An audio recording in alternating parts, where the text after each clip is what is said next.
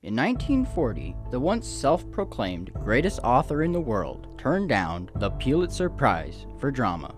One of Bill's quotes on his refusal uh, had to do with, uh, um, you know, he said, art must be democratic, but at the same time, it must be both proud and aloof.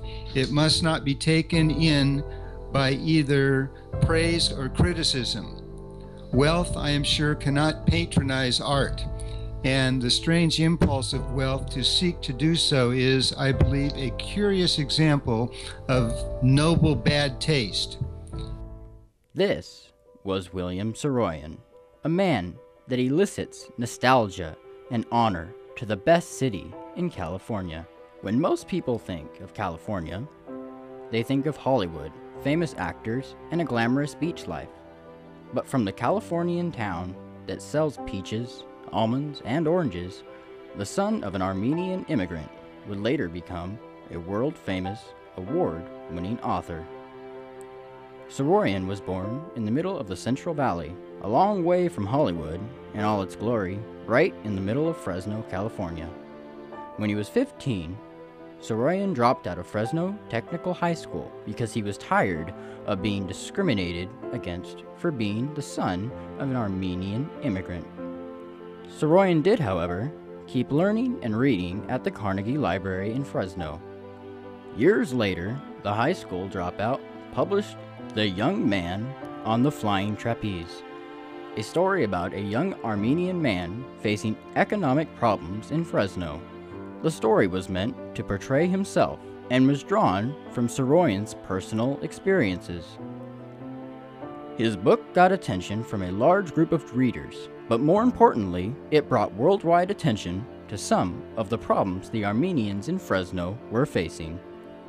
In addition to educating its readers, the book also put Fresno on the map. Fresno was now a notable place. It was a place that someone had found interesting enough to write a book about. I think the most important thing that he himself said it, it says, I did not make Fresno famous, Raisins did it. However, when you look at the literary world and you compare William Saroyan, he was the one who put the Fresno on the map of the world. When you travel in various parts of the country or the world, especially in Europe or Far East, when they ask you where you're from, when you say Fresno, the first thing that comes to their mind is, ah, Saroyan. Fresno and Saroyan are interlinked and they do relate to each other. Fresno was the only place Saroyan was ever said to have felt a strong connection to. He liked the connection he had developed between himself and California, which was later used as a reference for many of his books. Saroyan also once wrote that Fresno helped him accept and become the person he was because of the environment and the people that live here.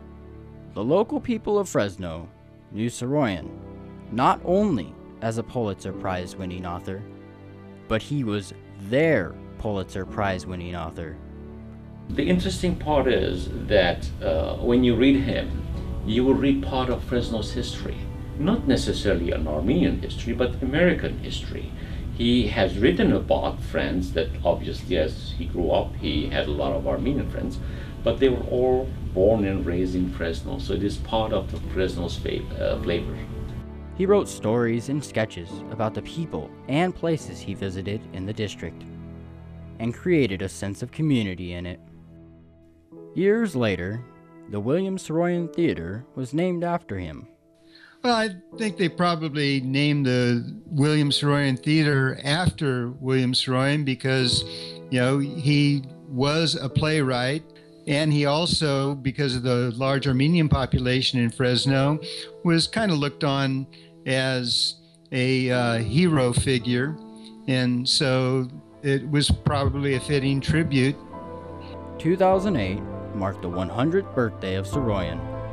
In celebration, Fresno hosted a year long event to not only promote Saroyan to Fresno, but to the whole world. Saroyan once claimed that the 10 years he spent in Fresno were the 10 most important years of his life. From this agricultural town, Saroyan found the inspiration to write his books that would later earn him the title he claimed of the world's greatest writer.